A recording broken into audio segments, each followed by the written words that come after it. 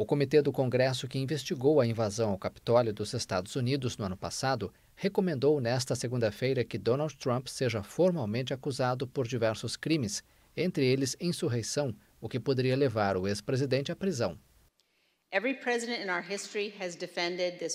Todo presidente em nossa história defendeu essa transferência ordenada de autoridade, exceto um.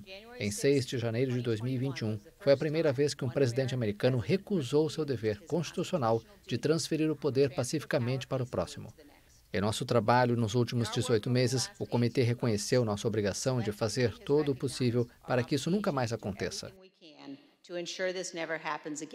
O comitê propôs acusar Trump dos crimes de obstrução de um procedimento oficial e conspiração para fraudar o governo dos Estados Unidos.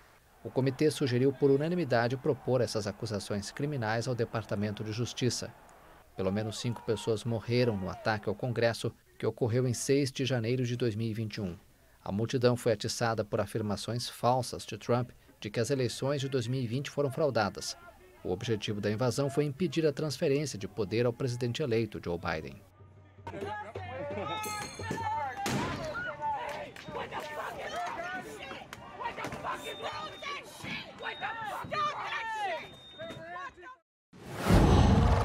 Whoa.